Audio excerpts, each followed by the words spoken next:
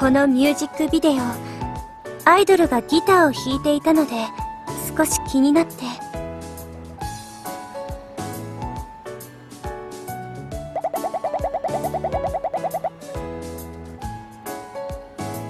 最近話題のアイドルユニットとか各方面から注目されているそうですね。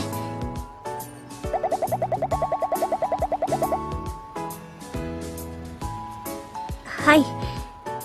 アイドルとしての本分も重要ですがそれに個性というものが求められています。私もうかうかとはしていられません。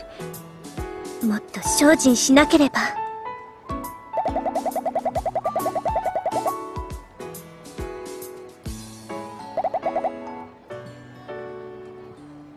はい。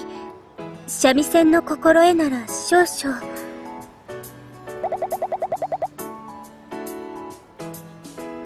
あのアイドルが三味線というのはおかしいでしょうか？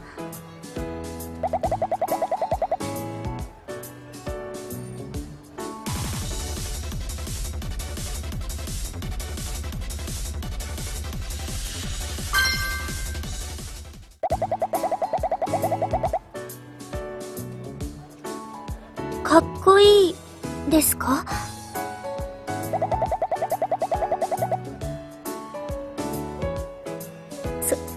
そ、んなに褒められると、私も三味線の可能性が広がっていくような気がします。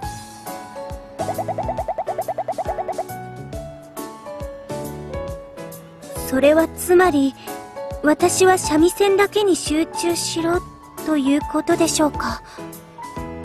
プロデューサーは私に三味線アイドルになれというのですか？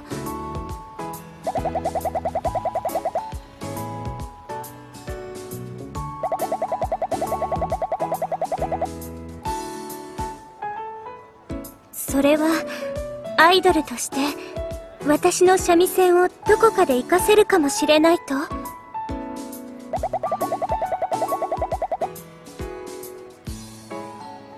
わかりました。そこまでおっしゃるのでしたら、今後持ってくることといたします。道具には心が宿っております。私の一部のようなもの。しばらく事務所に置いておくだけですけど、それでよろしければ。